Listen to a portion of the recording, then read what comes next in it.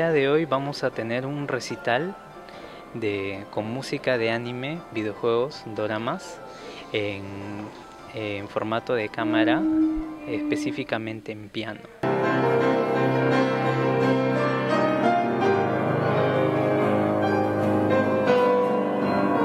Eh, mi amor por el piano hizo que yo lo desarrollara por mi cuenta y, y buscar aprender eh, buscar aprender de manera de manera autodidacta, o sea, yo solo.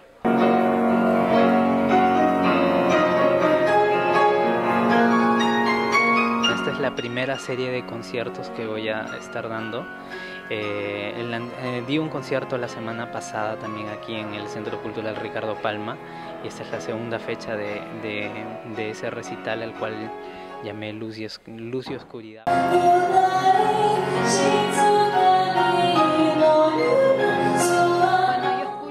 Música de anime desde los 9 años, soy fanática.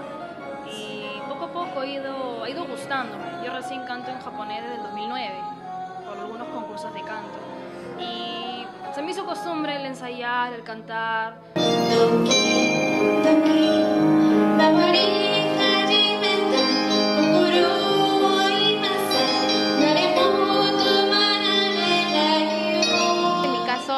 Si tengo ya una letra específica que voy a cantar, este, trato de estudiarla un poco, eh, no sacarle las dudas de lo que son palabras nuevas, no, la trato de estudiar un poco para saber qué es lo que estoy tratando de transmitirlo y este, y bueno, eso es lo que normalmente hago cuando yo tengo una canción, ¿no?